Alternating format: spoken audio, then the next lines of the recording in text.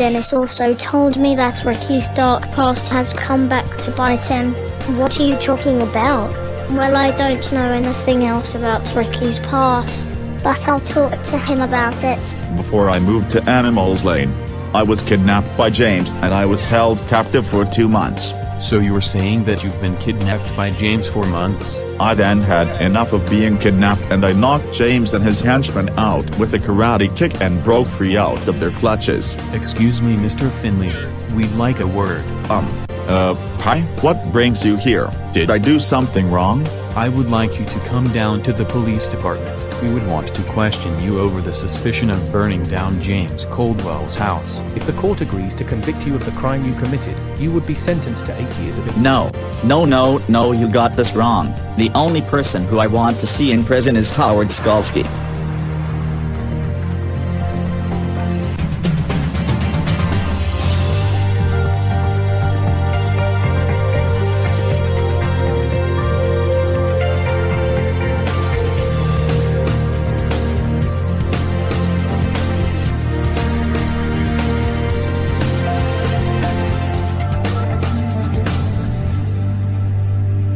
So you're saying you are framing Howard over burning down James's house? Yes, absolutely. I do believe that Howard was the one to burn down James's house because of a disagreement, so that's why he needs to be locked up.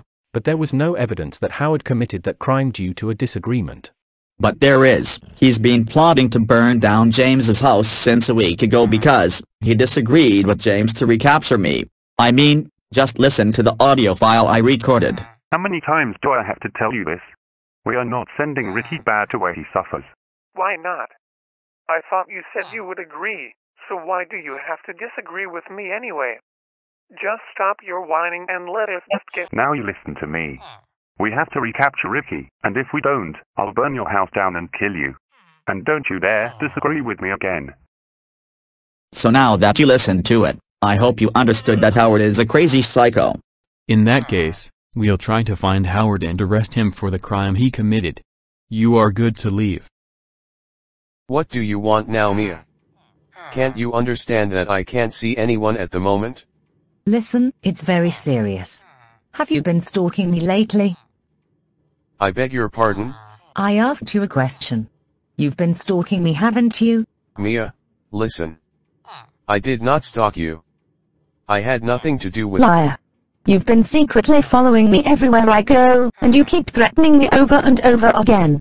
I mean, why do you have to do this to me anyway? Look can't we at least just stop talking about- No! I want to know exactly what you're doing to me, and you better give me one good reason why I shouldn't call the police. Alright, look. I'm sorry.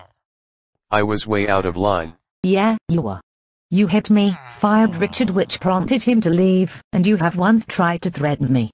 Everybody in this hospital thinks you're a hypocrite. Say that word again, and you're a dead woman. Now come on. Get out. Get out or I will do something I regret. So where have you been all night? I was worried sick about you. What? Did you really think I was missing?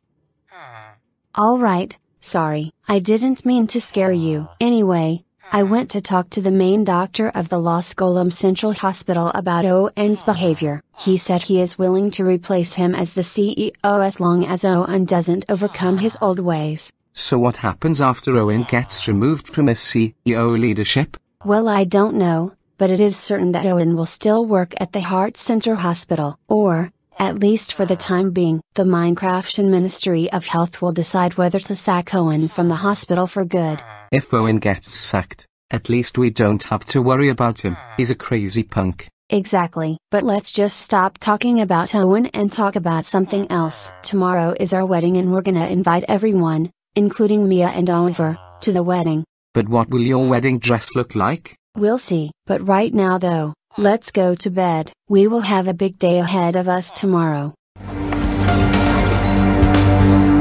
His President's Amazing Adventures.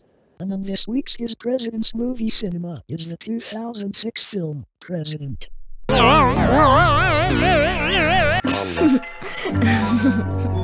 That was so funny. Yeah, I don't know who was that guy, but it was still pretty funny. Don't eat it, Wally. Oh, hi Ricky. Come watch cartoons with us. Actually, I'm not really in the mood of watching cartoons right now. I have to tell you guys something. What's wrong? Are you still dealing with the aftermath of James's death? I guess so. I had to go to the police department and told them that Howard burned down James's house. What? You framed Howard over the fire. I mean, what were you thinking? Look, I'm sorry, this was the only way to avoid getting arrested. Besides, if I was responsible, I would be locked up in jail for years.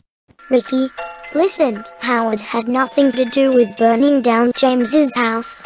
He did. I showed the police an audio file I recorded, which proves the backstory of how Howard burned down James's house. But what would Howard say about this? Will he respond by provocating us? As if Howard's gonna be locked up in prison just for sure, and if he threatens us, I'll deal with him. I don't know about you, Fred, but does the beetroot soup still taste good? Well, I'm not sure, but you can try it out for yourself. Jake said he has trouble starting up the oven because it won't work, but it did eventually. Wow, this soup doesn't taste that bad. It's still good. Well, thank goodness for that. At least I'm relieved it wasn't poisonous or we have to recall it. Morning. Are you guys doing alright? Yeah, as usual. I just had to test a beetroot soup because of a food poisoning concern, but fortunately it wasn't poisonous. Well I'm sorry about that concern. I was trying to start up the oven while I was cooking that soup, but fortunately I managed to resolve this problem.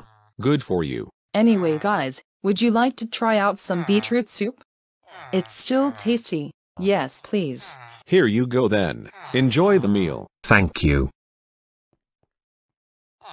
I don't know about you Ashley, but is it okay for Geraint and Sally to get married during a time like this?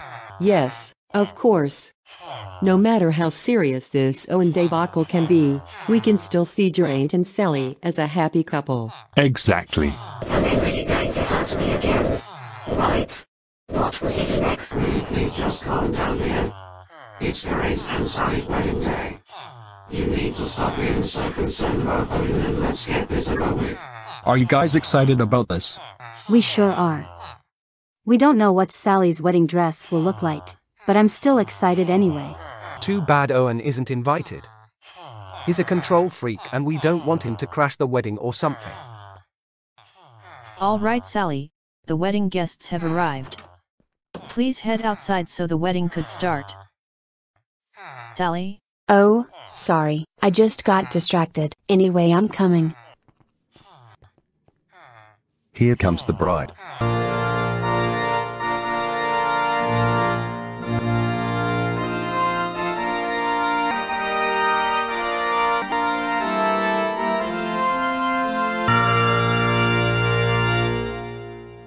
Welcome, loved ones. We are gathered here today to join Geraint Horton and Sally Flores in holy matrimony. It is wonderful to have family and friends here to join us today. The groom and bride would like to thank their guests for being here, and would like you to know that each of you were invited here on this day because you have played an integral part in their intertwining lives. Do you, Geraint Horton, take this woman, Sally Flores, to be your lawful wedded wife? I do. And do you, Sally Flores, take this man, Geraint Horton, to be your lawful wedded husband? I do. Very well. By the authority vested in me by the town of Castle Bush, I now pronounce you husband and wife. Ladies and gentlemen, it is my pleasure to present to you Mr. and Mrs. Horton.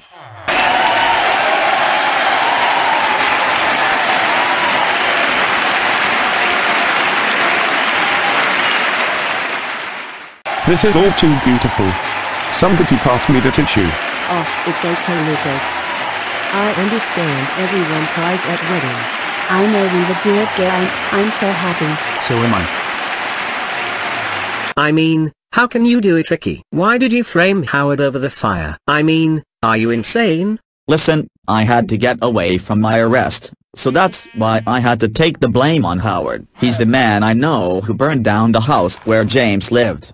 That's ridiculous. It's not ridiculous Paul, it's the truth. James disagreed to recapture me and Howard threatened to burn his house to the ground if he doesn't agree with him, and I showed the police an audio file I recorded to prove it. I mean, wow, we just don't understand. Where exactly did you record that file? I don't know, possibly at James's lair or somewhere else. I secretly sneaked there and recorded the file while he and Howard weren't knowing about what I did. I swear, if Howard finds out about this, we would be in a whole lot of trouble because of you. I'm pretty sure he won't find out about this because the police are out looking for him, and they should better arrest him for this. What are you staring at? Ever since I got out of James A's clutches, I tried to live a normal life, but I'm still under threat because of Howard, and I want to kill- Ricky no, I can't let you do this again. You knocked James off the church roof and we can't let you do something similar. So what? Howard is a gangster and I'm gonna teach him a lesson for threatening me. You, and my other friends, and he's gonna get exactly what's coming to him, period.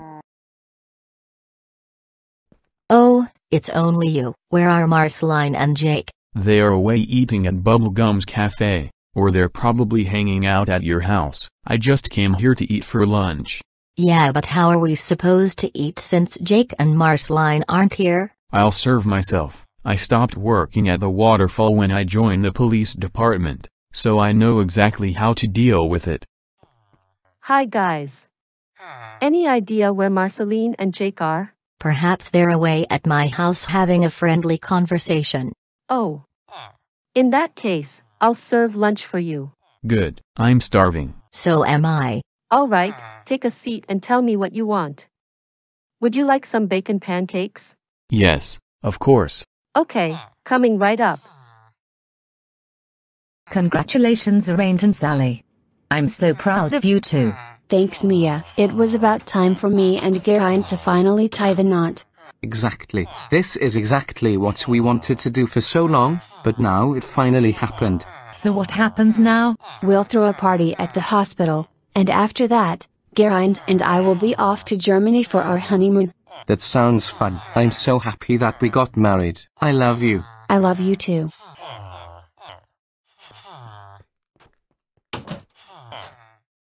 What the? Who are you? Why are you in my office without asking permission? Hello Owen, I'm Thomas Houghton, the main doctor of the Los Golem Central Hospital. I'm only here in this office just to let you know that, as long as you don't get over your aggressive ways, I will be the acting CEO of the Heart Center Hospital. I'm sorry I have to do this, but it's for your own good.